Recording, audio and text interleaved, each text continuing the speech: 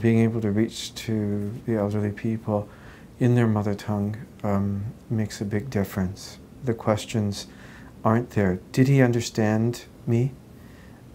What did he really say? Because I, I love you, my daughter, but I'm not sure that you really let me hear the true message. Or I'm not sure if you really let him know what I really wanted to know.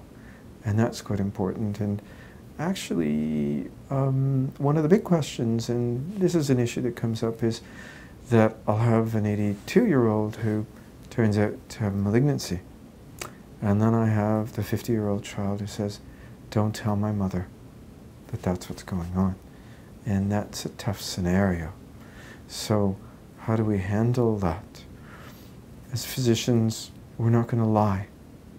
So I'll say, you may be surprised, but your mum, who's in her 80s, has dealt with death a lot in her life.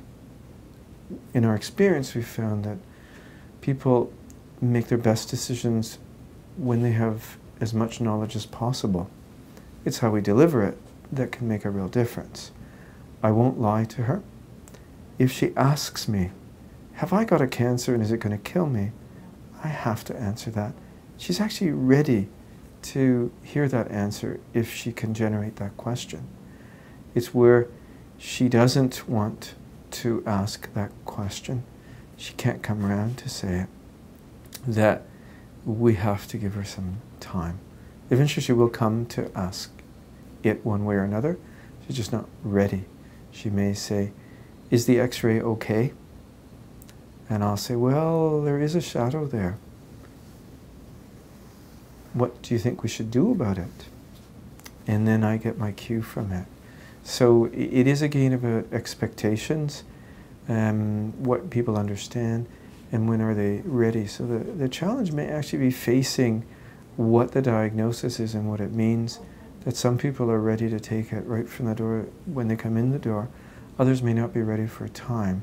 But I think the biggest challenge is being able to work with the fact that the the door, the receptiveness to what's happening in this area may not happen when it, we think it should.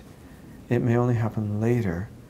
And if we try and impose order upon it rather than sitting back and waiting for the opportunity, which sometimes may be, may be posed to us in, in between the lines, that, that if we miss that, we, we've really missed uh, trying to help people who are struggling.